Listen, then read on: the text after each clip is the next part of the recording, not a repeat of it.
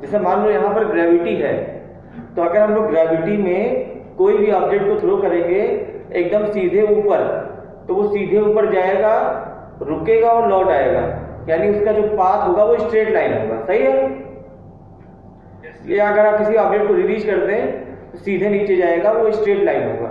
लेकिन अगर ऐसे थ्रो कर दें या ऐसे या ऐसे किसी एंगल पर तो वो उसका पाथ जो है प्रोजेक्टाइल जो है वो पैराबोलिक होता है। सही है? ओके इतनी बात ठीक है ना? बोलो भाई। आज लेकिन हमको पढ़ना ये है कि अगर कोई इलेक्ट्रिक फ़ील्ड है कौन सी फ़ील्ड है? कौन सी फ़ील्ड है? इलेक्ट्रिक फ़ील्ड तो इस इलेक्ट्रिक फ़ील्ड में इस इलेक्ट्रिक फ़ील्ड में अगर हम लोग किसी ऑब्जेक्ट को थ्रो करें तो इसका पाथ क्या होगा? अगर इलेक्ट्रिक फ़ील्ड में किसी पाथ को, किसी ऑब्जेक्ट को थ्रो करें तो उसका पाथ क्या होगा? ग्रेविटेशनल फ़ील्ड को भूल जाओ। मतलब ये मान लो कि ग्रेविटी है ही नहीं। ग्रेविटी को इग्नोर करो। ग्रेविटेशनल फोर्स इज़ ज़ीरो अब आ गई बात केवल इलेक्ट्रिक फोर्स की। कौन से फोर्स की? कौन से फोर्स की बात हो रही है? कौन से फोर्स की बात हो रही है? इलेक्ट्रिक फोर्स हाँ। अब ये बताओ अगर मैं तुमको ऑप्शन दूँ कि इलेक्ट्रिक फ़ील्ड यहाँ पर एक प्लेट पर पॉजिटिव चार्ज है और एक प्लेट पर नेगेटिव चार्ज है। तो मुझे बताओ इलेक्ट्रिक फ़ील्ड किधर है? प्लस से माइनस की ओर है ना?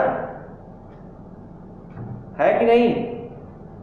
भाई अगर यहाँ टेस्ट चार्ज रखोगे तो इस टेस्ट में चार्ज का फोर्स किधर लगेगा? प्लस वाली प्लेट इसको रिपेल करेगी माइनस वाली अट्रैक्ट करेगी तो इससे फोर्स नीचे लगेगा ना? तो जिधर फोर्स लगेगा जैसे इस चार्ज को यहाँ रखकर छोड़ दें तो इससे फोर्स नीचे लगेगा ये सीधे नीचे चला आएगा मतलब इसका पाथ स्ट्रेट लाइन होगा। बोलो सही है? चार्ज को आपने यहाँ रखकर छोड़ा इस पे फोर्स लगा नीचे तो ये नीचे चला आएगा इसका पाथ कैसा हुआ? इसका पाथ कैसा हुआ? स्ट्रेट लाइन स्ट्रेट लाइन अब मान लीजिए ध्यान दीजिएगा मान लीजिए कि आपने इसको ज़ीरो वेलोसिटी से नहीं रखा। आपने इसको इधर थ्रो कर दिया वेलोसिटी v से। मतलब आपने इसको वेलोसिटी v से ऐसे थ्रो कर दिया। लेकिन फोर्स तो नीचे ही लगेगा ना? भाई इलेक्ट्रिक फोर्स तो नीचे ही लग रहा था। बोलो।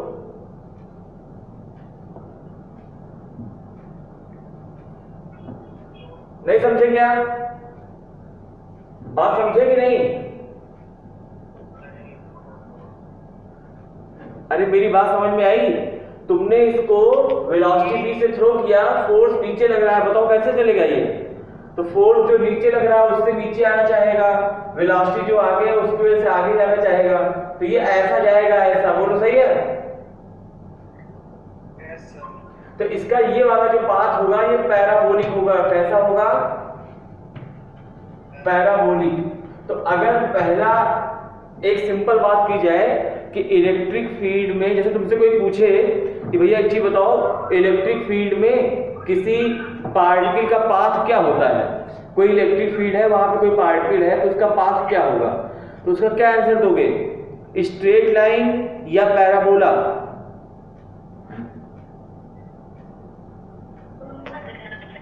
इसका आंसर है दोनों। दोनों आंसर होगा। स्ट्रेट लाइन भी इसका आंसर होगा और पैराबोला भी इसका आंसर होगा। अगर पार्टिकल को रख के आपने रिलीज़ किया है तो स्ट्रेट लाइन होगा। अगर आपने थ्रो किया है तो पैराबोला होगा लेकिन शर्त यह है कि थ्रो करने वाली वेलोसिटी की जो डायरेक्शन है फोर्स की डायरेक्शन में नहीं होनी चाहिए। अगर नीचे ही थ्रो कर दोगे तो तब भी ये स्ट्रेट लाइन आएगा। ये बात समझ में आई?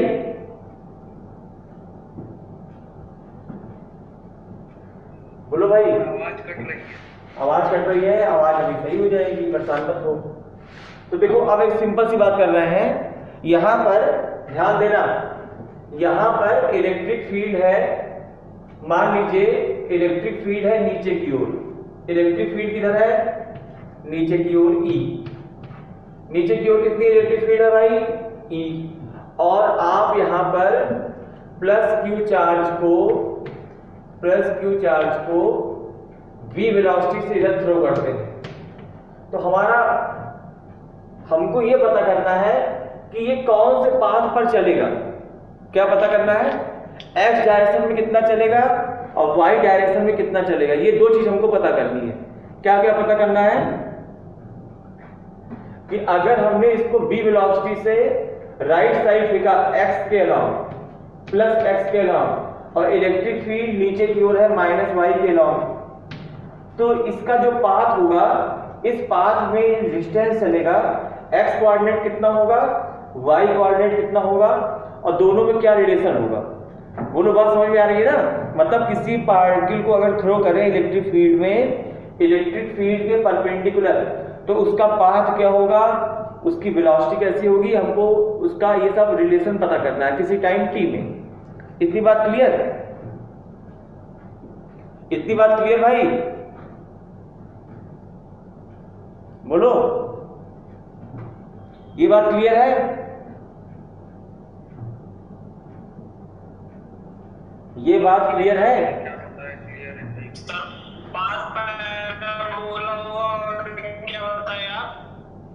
हाँ पाथ जो है उसका उसका पैराबोला पाथ होगा, लेकिन हमको उस पैराबोला की इक्वेशन चाहिए। बात समझ में आई ना?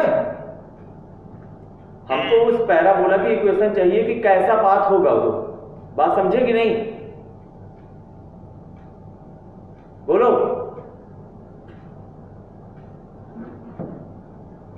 ये बात क्लियर हमको वाई और एक्स कोऑर्डिनेट में रिलेशन चाहिए भाई। हमको y और x कोऑर्डिनेट में रिलेशन चाहिए कि y कोऑर्डिनेट कैसा होगा x कोऑर्डिनेट कैसा होगा। बोलो ठीक है? तो चलो इसको पता करते हैं ध्यान से सुनो। मान लेते हैं कि टी टाइम के बाद ये पार्टिकल यहाँ पर है। मान लेते हैं कि टी टाइम के बाद पार्टिकल का कोऑर्डिनेट है x, y क्या कोऑर्डिनेट है? X, वाई टाइम टी के बाद. t टाइम में x कोऑर्डिनेट ये हो गया इधर. तो ये दूरी इसकी x हो गई यहाँ से यहाँ तक. तो अब बताओ ये वाली हाइट कितनी होगी? Y होगी. तो y के लिए y डायरेक्शन में इक्वेशन लगाएँगे x के लिए x डायरेक्शन में लगाएँगे. तो पहले x डायरेक्शन में सॉल्व करते हैं. X डायरेक्शन में वेलोसिटी v है फोर्स का कोई भी कंपोनेंट इधर नहीं आएगा, क्योंकि जो पॉजिटिव चार्ज है, उसका फोर्स जो है इलेक्ट्रिक फ़ील्ड की डायरेक्शन में लगता है, फिर से सुन लो। पॉजिटिव चार्ज पे जो फोर्स लगता है, वो इलेक्ट्रिक फ़ील्ड की डायरेक्शन में लगता है तो फोर्स इस पर नीचे लगेगा, क्यू ई और चूँकि ये फोर्स वाई डायरेक्शन में है तो इसका कोई भी कंपोनेंट एक्स में नहीं आएगा। तो एक्स डायरेक्शन में फोर्स का कंपोनेंट ज़ीरो फोर्स केवल वाई में आएगा वाई में फोर्स कितना आएगा? क्यू ई और पहले x डायरेक्शन में सॉल्व करना है तो x डायरेक्शन में केवल वेलोसिटी है। तो x डायरेक्शन के लिए s डिस्प्लेसमेंट s बराबर velocity v into time t. बस यही क्वेश्चन लगेगी। दूरी बराबर चार गुणे समय या एस बराबर u t plus half A T square zero हो जाएगा। क्यों ज़ीरो हो जाएगा? क्योंकि एक्सप्रेशन नहीं है। इस फोर्स का कोई भी कंपोनेंट इधर नहीं आएगा x के अलावा तो x डायरेक्शन में लगेगा x equal to V T equation one y direction में देखो वाई डायरेक्शन में इक्वेशन लगाओ s equal to U T plus half A T square तो वाई जो डिस्प्लेसमेंट है, वो वाई है. इनिशियल वेलोसिटी ज़ीरो है. क्योंकि पूरी वेलोसिटी जो है एक्स के अलावा है वाई के अलावा कोई भी वेलोसिटी नहीं है तो वेलोसिटी का y कंपोनेंट ज़ीरो है भाई। वेलोसिटी का y कंपोनेंट ज़ीरो है तो वी वाई ज़ीरो हो गया प्लस हाफ़ ए एक्सप्रेशन हो जाएगा force upon mass into T square और फोर्स होता है क्यू ई तो ये हो गया half Q E by M into T square, T की वैल्यू कितनी है भाई? टी की वैल्यू है एक्स अपॉन वी, यानी x अपॉन वी का स्क्वायर। यानी velocity is half q by M into E into X square upon V square. ये ये y और x में इक्वेशन आई और देख लो y की पावर वन है। X की पावर टू है तो ये पैराबोला है। अब बोलो जो बात कह रहा हूँ फिर से समझा दूँ? हाँ हाँ। ठीक ठीक फिर से सुनो फिर से सुनो। यहाँ पर एक प्लस क्यू चार्ज है जिसको तुमने v वेलोसिटी दी है x के अराउंड और इलेक्ट्रिक फ़ील्ड y के अराउंड है नीचे E तो प्लस क्यू चार्ज पर वेलोसिटी कुछ भी हो उससे कोई मतलब नहीं होता। पॉजिटिव चार्ज पर फोर्स लगता है फ़ील्ड की डायरेक्शन में क्यू ई तो मैंने इधर फोर्स बना दिया है क्यू ई और अगर फोर्स आया क्यू ई तो एक्सलेशन होगा फोर्स यानी क्यू ई अपॉन मास यानी फोर्स अपॉन मास ये एक्सप्रेशन हो गया आप समझते हैं F बराबर एम ए से. तो A बराबर F बाई एम एफ़ की जगह क्यू ई लिखा है. तो ये y डायरेक्शन में एक्सप्रेशन आ गया. वेलोसिटी केवल x के लॉन्ग है. तो वेलोसिटी x के लॉन्ग है, एक्सप्रेशन इधर ज़ीरो है, और एक्सप्रेशन y के लॉन्ग है, इधर वेलोसिटी ज़ीरो है। तो जब हम लोग x डायरेक्शन में लगाएँगे तो केवल s बराबर ut रहेगा हाफ़ ए टी स्क्वायर देखो यहाँ नहीं लिखे s है डिस्प्लेसमेंट x, जो कि इस पॉइंट का डिस्प्लेसमेंट है इधर x velocity v into t half A T square zero है, क्योंकि एक्सप्रेशन नहीं है। तो x बराबर v इनटू t, एक इक्वेशन ये हो गई। अब ये y डायरेक्शन में लगा रहा है, इसको x में लगाएँगे s की जगह y velocity zero zero into T करेंगे, ये टर्म ज़ीरो हो गया।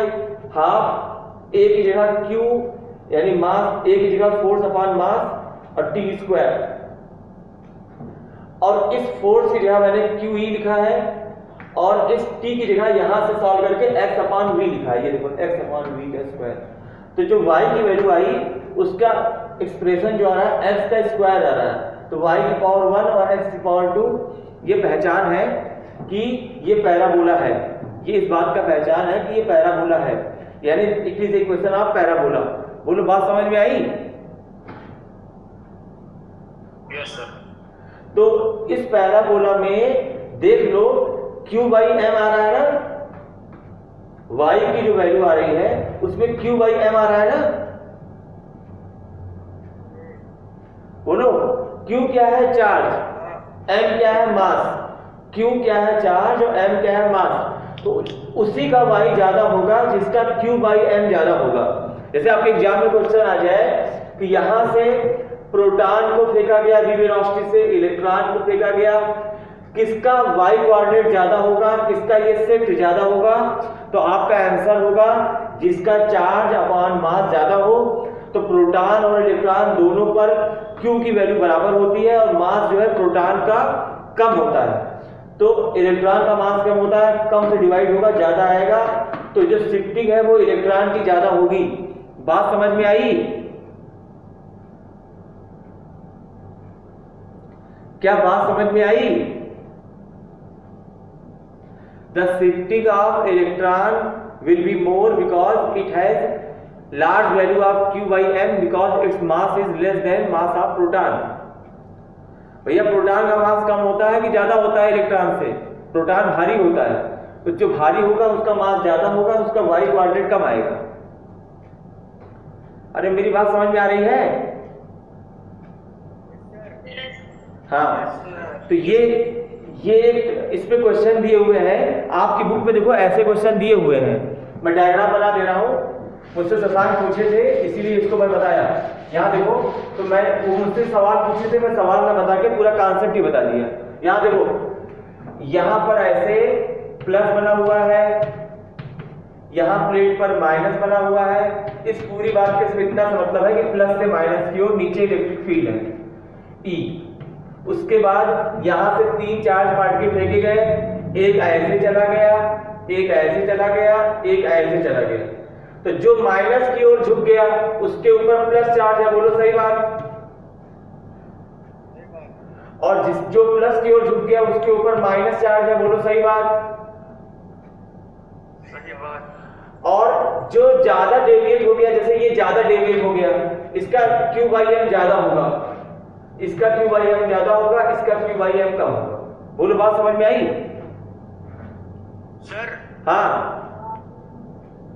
सर ये क्यू बाई जो है हाँ। इसकी कोई इक्वेशन नहीं है मतलब इसके अलावा सिंगुलर इक्वेशन क्यू चार्ज है एम मास है। इसको बोलते हैं स्पेसिफिक चार्ज मास से डिवाइड कर दोगे चार्ज को क्यू बाई एम को स्पेसिफिक चार्ज भी बोलते हैं। एक टर्म है स्पेसिफिक चार्ज स्पेसिफिक चार्ज हाँ। अच्छा ऐसा कॉन्सेप्ट तो नहीं है एनसीईआरटी में ना ये है एनसीईआरटी में इसमें बेस सवाल वाल एक ऐसे दिया होगा बीच बीच में कहीं। जानते हो इसको? अब तो मैंने पूरा एक्सप्रेशन ही बता दिया। अब तो कोई विवाद ही खत्म हो गया। कोई सवाल कहीं से भी लगाओ। अब तो कहीं से भी लगाओ, सब आएगा. हाँ ठीक। अब चलो अब आते हैं आज के टॉपिक पर इलेक्ट्रिक डाइपोल पर। टॉपिक का नाम क्या है? टॉपिक का नाम है इलेक्ट्रिक डाइपोल